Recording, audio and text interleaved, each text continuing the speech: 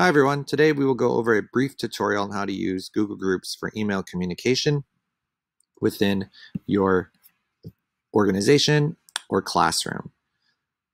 I teach at Fenwick High School and we use Schoology as a learning management, management system and we do not use Google Classroom. So for this purpose and this tutorial, we'll pr primarily be using Google Groups again for um, teacher to student email or fellow faculty group emails, etc.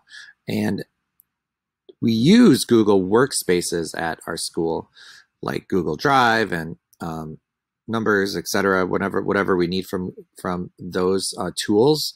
But again, we don't use Google Classroom, so primarily this will be helpful um, for fellow faculty to just kind of organize their email communications with fellow students and staff. Let's get started. First, you need to in the upper right, select Google Groups here, which is about midway down for me. And we will select it and open it up. Okay, you can see that I'm already part of a few groups. Uh, concert band, concert band parents, expressive arts department, faculty, teachers only, faculty staff, student leaders, list goes on. Each of these groups has specific members in it and specific conversations that are continuously going. Um, primarily, we use it for, again, to email information out to students and parents. But, you know, you could create specific groups here for, you know, small groups within a class for students or really use it for whatever you want to. But I want to start a new music appreciation group, which is a, a one semester class I'll be teaching this fall and spring, but they're separate groups. So in the upper left, I'm going to select create group. I'm going to give it a name Music Appreciation Fall 2021.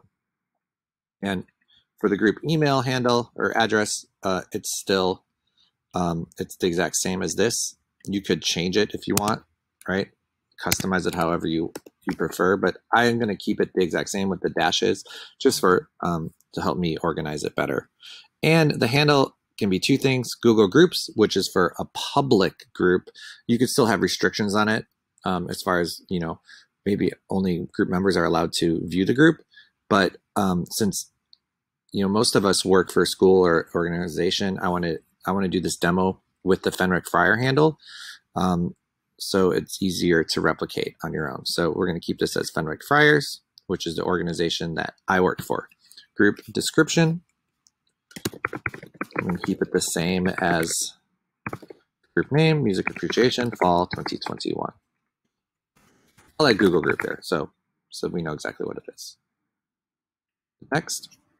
Okay, who can join your group? Um, when I teach this this fall to fellow faculty in like a brief lunch and learn or maybe a, a, a monthly email, I would definitely keep this as anyone in the organization can join. All right, so that means you have to have a Fenwick email to be a part of this. If you don't, um, there's no way you can be invited. All right, but for this um, demo purpose, I'm going to select this to anyone can join because I'm going to use my personal email as the, the other member. So anyone can join. Who can view conversations? Um, I want to keep it as group members only. So if entire organization would be like anyone at Fenwick, but you must be a group member to view this conversation. So invited and um, approved. Who can post? Group members. So just uh, fellow students and faculty in the group. But, you know, some of the groups, the other groups I just showed you, it's actually selected with group owners. So only group owners can email um, the entire group, which is also probably um, a useful application or option that you might want to use if you just want to keep this uh, group as a way for you to email students and parents. But for this purpose, I want to show you, a not, um, let's keep it group members to encourage conversation within the group. Who can view members? Group members only, all right? So those are my main um, privacy settings to get started. Hit next. Okay, at this point, you can you if you had like a list of emails or in your contacts, you could you know literally copy and paste and them all in the group members here.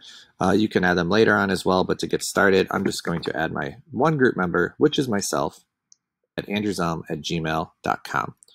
Group managers would be if you had a maybe a fellow um, faculty member co-teaching with you, or if you wanted to bring in another teacher as a manager to the group, you would add their email here.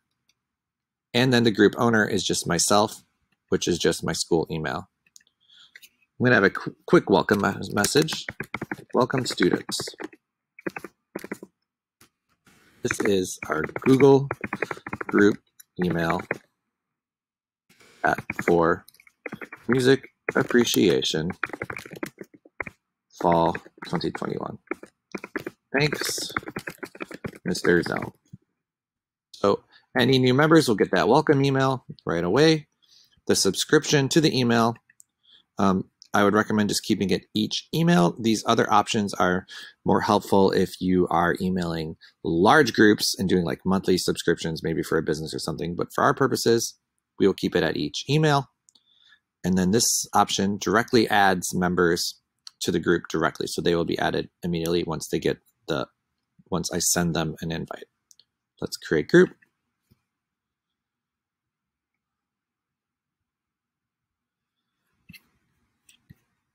Looks like it's selecting me out of my account. So let's get back into my school account. Go back to Google Groups. And if you look now, look, there's a new group, Music Appreciation Fall 2021. Let's see what's going on. Let's open it up. One second here.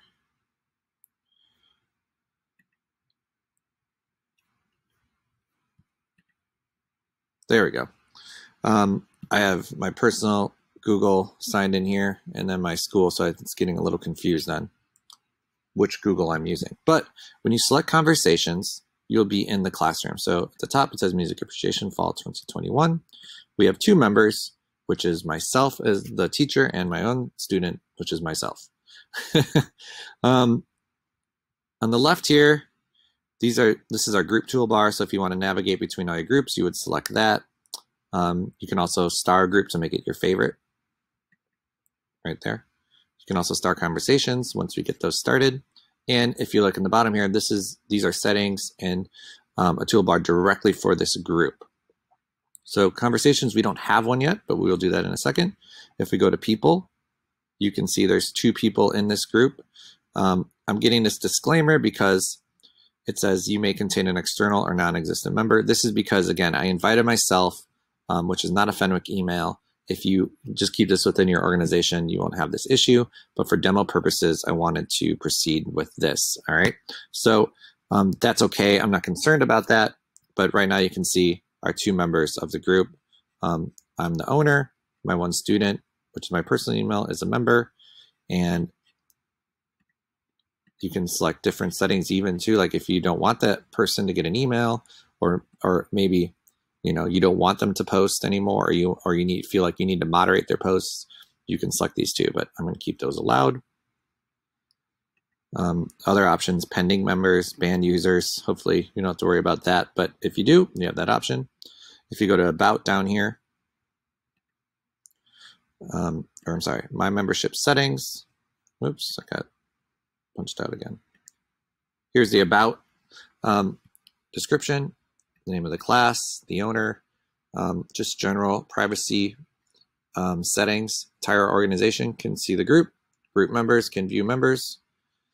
Um, group members can view conversations. Group members can post. Anyone on their web can join. So you can, again, toggle all these if you want to under my membership settings. Um, Oh, sorry. This my membership setting is just for me. So if I wanted to link this to my Google account, I could do that. Um, this is my email. So this is like, and you know, any member will be able to to to adjust these. So you know, like if you invite a student, you know, and they really don't want to be a part of the group, I don't know why they wouldn't want to do that, but they could they could you know opt out of emails. Okay, group settings. Okay, here we go. Just in case you want to change anything, you can still change your name, group email group description. You can, from here, you can actually customize your welcome message again. So like, welcome students. And if you wanted to add a, a photo, you could do that. Um,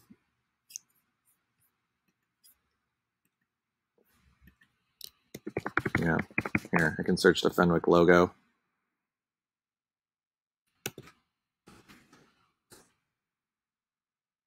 Well, it's not it's not popping up, but you all understand, you all get the idea. You can add a, a customized photo here if you want to. Um, collaborative inbox, I'm going to have that selected so we can, you know, promote collaboration within the classroom. Um, who can see the group? Organizational members. So this means you have to be a member of the of Fenwick, a student or a faculty who can join the group, anyone on the web. This is important right now for the demo purposes, allow external members. So if this is off, like um, I would not even be able, the my personal email would not be able to participate. So I'm going to keep this on for now, but you might want to keep this off if you want to make sure no one from outside the school can get, can be a part of this. Who can view conversations? Again, we already selected these.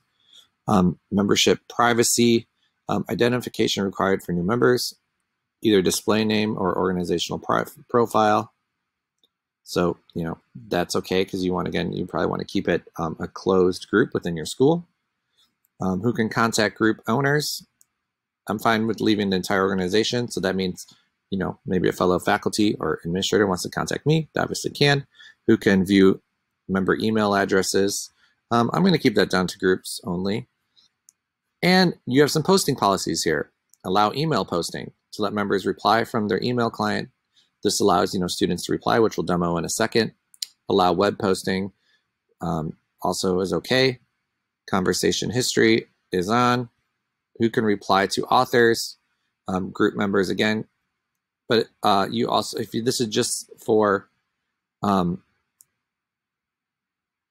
yeah, I would actually keep this as group members. So like if you're um, leading class and you send a email out to all your students, you know, people might want to respond to you directly. So yeah, you want to keep that selected. Who can attach files, group members, who can moderate, group managers, who can moderate, group managers, who can post as a group. Um, so this one,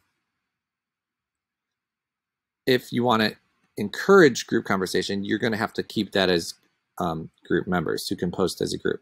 If you don't want students to be able to post on the wall and you just wanted them to only be able to reply to you only, keep it as group owners. So posting as a group, group members though, for right now to encourage conversation. And then um, the default address used by line for messages as a group, author's address. So that, I'm okay with that. But you could, if you want to, for some reason, keep emails privately, you know, hidden, you could keep it as group addresses. Um, no moderation right now, but you could keep it moderate from all me messages if you want to. Um, no restrictions for new members. Um, you can also select some spam restrictions. Um, so lots of options here. And um, I just want to take the time to go through them because they are important, um, especially if you're leading this for a group of students. And just email language, English, etc. And there we go. Oh, here's the last thing I want to do. Member moderation, who, who can manage members, just group manager, who can modify custom rules, group managers. Very good. And at last, if you want to delete group, you can do that down there. So when you're done with all this, just once you hit save, changes. And now let's get a conversation going. So I'm going to select start a conversation. I'm say, students, conversation um, is designed just like a regular email. Welcome students. Please watch this music video. I want to just demo how you can send um, content. Um, so I'm going to send a brief video of my band, our newest music video. Copy the link. The band is called Low Down Brass Band. The song is called Gratitude. Oops, spelled it wrong. Let's fix that. And I'm going to highlight it, insert link, copy and paste. And now we have a smart link there. Thanks. And oh, oh, and I will also write, please reply with please uh, please comment on the video. And then we will post message to the board. And you can see now we have our first conversation here from myself, the teacher. If you open it, you can see the video. Open link in new tab.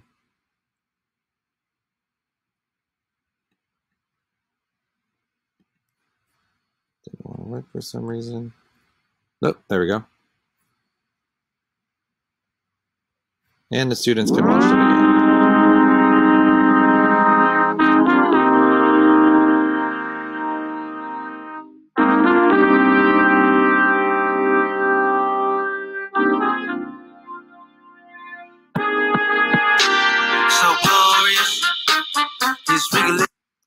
and so on.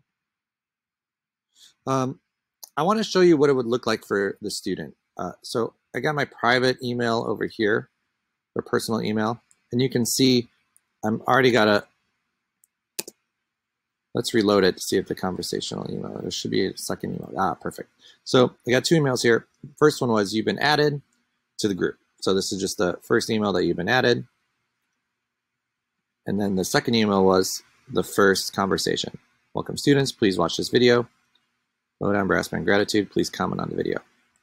So you would encourage your students to probably reply all because then you can see you need to reply all. There's my personal email, but then the group email. So you can say, awesome video, Mr. Zelm. Thanks for sharing. Typing too fast. And I'll sign it Andrew Zelm. No exclamation. And you hit send. At this point, since I have replied all, it should go to the whole group. Let's see here. Let me reload this. When I open up this conversation, and you can see. So in the conversation, there's the first response. Awesome video, Mr. Zelm. Thanks for sharing. And if you had multiple students, this would obviously be linked um, with many emails. All right, at this point, um, this concludes our opening tutorial on how to get started with Google Groups. Um, from here, you could actually, you know, link calendars, um, create subgroups, etc. But for this purpose, I just want to get folks started because um, as simple as it may seem, I think a lot of faculty would really benefit from using this just for group email. I'm sorry, for classroom communications between um, themselves and their, their students as a group. And I find this works way better than using the context on, on the, the Google Contacts selection and stuff like that. So I would really encourage uh, using groups, even just for basic email, um, group email communications. Thanks, everyone.